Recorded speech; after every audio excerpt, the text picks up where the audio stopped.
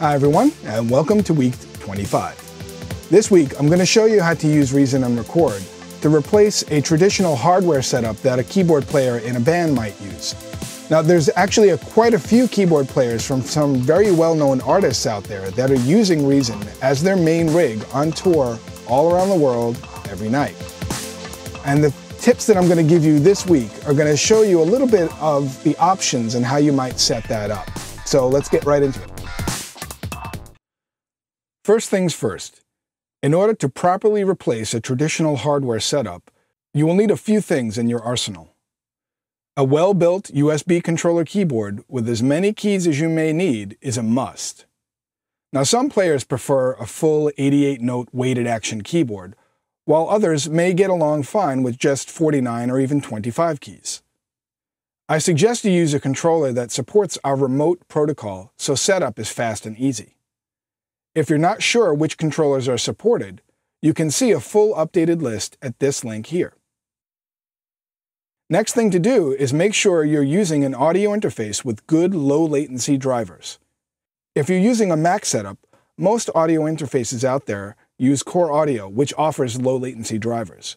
Except for one very popular brand, which they require you to use in order to use their software, and it is not a good option for a live setup. If you're on a tight budget, you can even get away with just using the mini 1 8 inch stereo out jack on the computer and the standard Core Audio drivers on a laptop. If you're using a PC setup, make sure that the audio interface you are using has ASIO drivers, and most these days do. Do not, and I repeat, do not use WDM or DirectX drivers as they do not give you very low latency. And I do not suggest using just the internal sound card. It's just not high quality enough, and the latency on the drivers is terrible. Next is the setup. Now there are two methods of using Reason or Record that I've seen people use, and the choice of which one you use is really dictated by what you need. If you need to have the ability to switch quickly from one sound to the next without any pause or break in sound, then the first setup I will cover is your best option. If you have time to spare between sounds and are very organized, then option number two may be for you. Okay, let's start with option number one, which I will call Master Song Setlist Setup. The idea here is that you load each sound that you will need to play as a separate track in the sequencer, using the Create Instrument selection in the menu. Since each sound is loaded and ready to play, you have the ability to quickly jump from sound to sound by just selecting which track the controller keyboard is active on.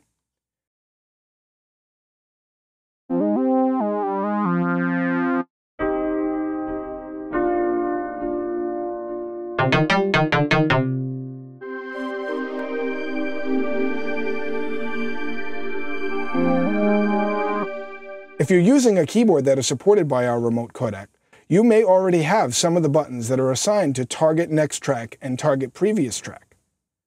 But if you don't, then you can assign those functions to any buttons or keys on your controller by using the Additional Remote Override selection in the Options menu.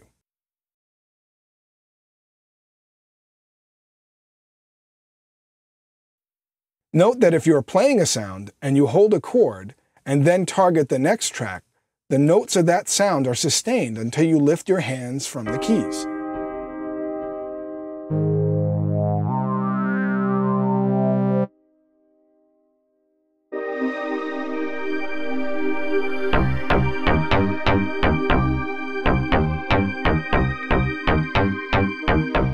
Since you can have an unlimited amount of tracks in a song, you could have all the sounds you need in a song laid out in the order you play them and just open the song for that set.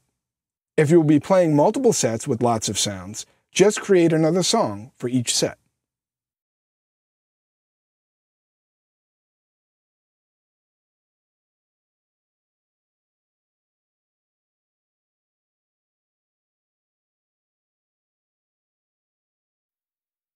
If you need to set up splits for things like sample triggering on lower keys while you play the lead or melody part on the upper range, you have a couple of options.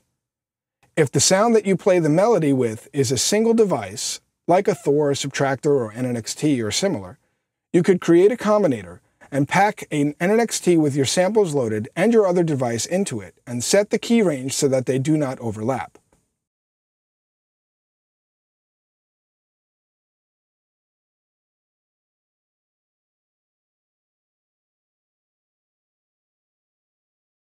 If you are constantly needing to switch the sound for the right-hand side and always need to keep the samples for triggering on the left, then you need a controller keyboard that has the ability to set certain keyboard ranges to zones on their own separate MIDI channels, like my M-Audio Axiom Pro here. Then what you do is work with the Advanced MIDI Preferences page and the Advanced MIDI device at the top of the rack to select the device which is triggering the samples on the channel assigned to the lower register here. If I were doing this, I would make sure that the device playing back the samples is all the way down at the bottom of the sequencer track list, so I do not select it by accident.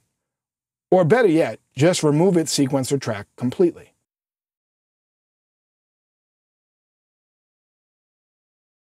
Our second option is what I would call a patch favorites list setup. This option really would only be used in a situation where you may not be switching sounds a lot during a song, or if you do need to switch sounds, you have a little time between the parts that you play, so you can wait for the sounds to load in. This method would require you to do a bit of work. You would have to organize all the sounds you will be using in the order that you will be playing them for the set in a favorites list using the patch browser. To do this, select the first sound that you need, then open the browser and click on the Create New Favorites List icon. Now you can take that sound which is selected and drag it into the list and repeat the process for each sound that you need. Note that these sounds can come from any device. You can also rearrange the order of the sounds by just clicking and dragging them to where you need in the list. If you're using a controller keyboard that is supported by remote, then you may already have the Select Next Patch or Previous Patch for target device assigned to buttons on your controller. But again, if you do not, you can also assign them to buttons or keys using the additional remote overrides function in the option menu.